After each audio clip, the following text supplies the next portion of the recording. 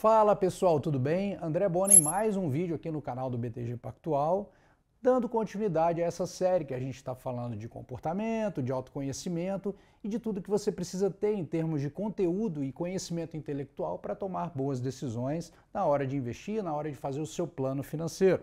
Antes de entrar no conteúdo de hoje, lembre-se daquele recado de sempre. Não se esqueça de se inscrever aqui no canal, ativar as notificações para ficar por dentro de tudo que a gente produz aqui com muito carinho para você, beleza? Bom, no vídeo de hoje eu queria falar sobre uma situação que talvez possa acontecer com você. E que situação é essa? Bona, eu fiz tudo que você falou, eu estudei, eu me planejei, eu acompanhei tudo, eu tenho noções de economia e tudo, mas sabe o que aconteceu? Deu tudo errado nos meus investimentos. O que que eu faço? Aí talvez nessa hora você já esteja pensando ou ficando até bravo comigo. Eu segui tudo que o Bona falou e está dando tudo errado agora, e agora o que, que eu faço? E agora ele me, deixou numa enrascada. Não, calma, vamos lá, que a gente está aqui justamente para poder te abraçar no momento em que você não se sentir plenamente confortável com esses investimentos né, e com as condições que podem acontecer no mercado.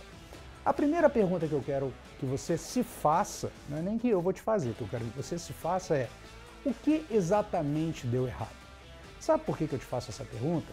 Porque muitas pessoas vão dizer assim, ah, deu errado porque a minha carteira de ações caiu, né? Tá, mas você fez um investimento em ações, por exemplo, e aqui eu estou dando exemplo de ações porque é que ele tem mais volatilidade, então está mais suscetível a gente ter esse sentimento com esse tipo de investimento. Ah, então caiu. Sim, e, e onde que você entendeu que as ações só subiriam? Né? Então essa é uma reflexão. Outra coisa, você acha que a carteira de ações do Warren Buffett só sobe desde que ele começou a investir? Você acha que não cai também as ações dele? E você pensando nisso, não sabe que ele alcançou muito sucesso e formou muito patrimônio ao longo de toda a jornada dele como investidor? Então, essa questão do o que deu errado tem muito mais a ver com você do que com um produto de investimento. Até porque às vezes você pode olhar uma determinada ação num período e falar assim: nossa, essa ação caiu nesses três anos que eu investi, ou nesses cinco anos que eu investi, não quero mais saber, vou vender. E aí passa os próximos cinco anos e essa ação dispara. E a gente nunca sabe qual é a ação que vai disparar. Muitas pessoas olham o conteúdo, olham a gente aqui e falam assim, não, o André deve saber sim qual ação que vai subir. Não, eu não sei, é impossível saber isso. Tá? Mas o que eu sei é que as ações subirem e descerem faz parte da natureza delas. Então eu não vou brigar contra a natureza. A natureza é a natureza desse tipo de investimento. Então, o que eu tenho que pensar, o que você tem que refletir, é se as suas expectativas estão calibradas com relação às suas escolhas de investimento. Se você sabe exatamente aquilo que você pode esperar de cada um dos produtos. Uma outra coisa é o seguinte, no exemplo lá das ações. Quando você fez o um investimento nas ações, você certamente pensou, ah, esse é um investimento para longo prazo. Aí as ações caem por seis meses e você se desespera, mas tem alguma coisa errada, porque o longo prazo não é seis meses. Então, essa questão das, das expectativas calibradas e descalibradas são muito importantes da gente entender. E essas expectativas só vão ser ajustadas, só vão estar realmente de acordo com aquilo que pode acontecer se eu compreendo realmente os produtos e os riscos, se eu sei antecipadamente como eles se comportam. Vou dar um exemplo pessoal ao longo dessa jornada aqui. Por exemplo, é, quando acontece uma queda grande no mercado, as minhas ações também caem. Só que isso não me surpreende, porque eu já sabia que elas iam cair? Não, eu sei que elas podem cair e isso faz parte. Então eu tenho uma expectativa que me faz lidar com essa situação de uma maneira positiva.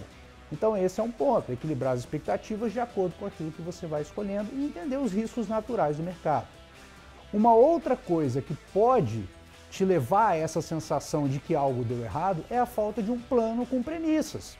E a gente falou isso em praticamente toda a série eu preciso ter premissa. Como eu escolho? Eu escolho pelo meu objetivo, eu considero a volatilidade, eu escolho empresas que têm determinadas características, eu primeiro faço a minha reserva de emergência. Qual é o plano? Você tem que ter um plano, porque se você não tiver o plano, você vai achar que deu errado. Mas na verdade não é que deu errado, ainda não deu certo. Faz parte da trajetória.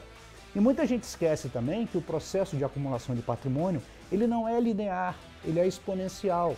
A formação dos juros sobre juros ao longo do tempo, ela é uma curva ascendente.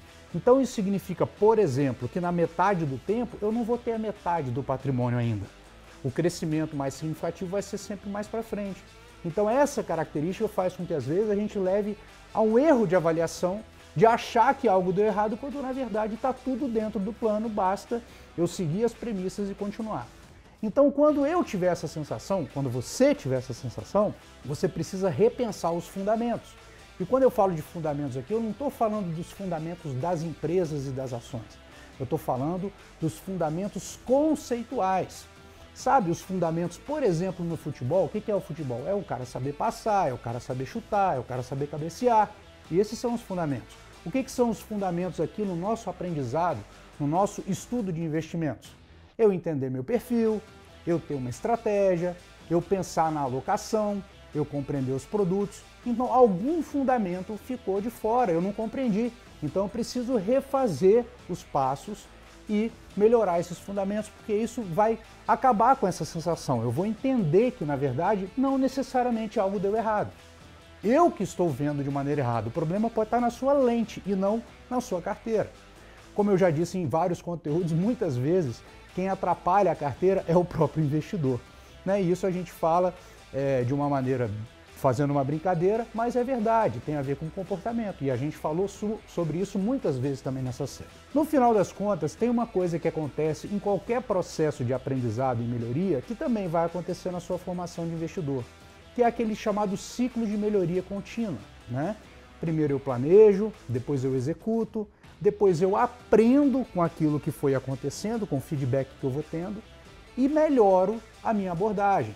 Posso melhorar a minha estratégia, posso melhorar a minha alocação, posso melhorar a minha compreensão e daí eu, eu ajo e recomeço o ciclo sempre melhorando. Então, se você se coloca na condição de aprendiz, né, você sempre vai melhorar a sua abordagem, a sua tomada de decisão. Mas isso faz parte do processo, então não é dar errado, é continuar aprendendo, continuar evoluindo, continuar se desenvolvendo para que você alcance os seus objetivos, beleza?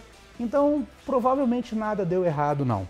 O que falta é a gente continuar estudando, continuar compreendendo para seguir na jornada com tranquilidade, porque a ideia de investir não é tirar o seu sono, não é te trazer ansiedade, ao contrário disso, é te trazer tranquilidade. Beleza? Então essa é a mensagem que eu tenho desse último vídeo da série e eu espero você em breve num outro vídeo. Um grande abraço e até lá!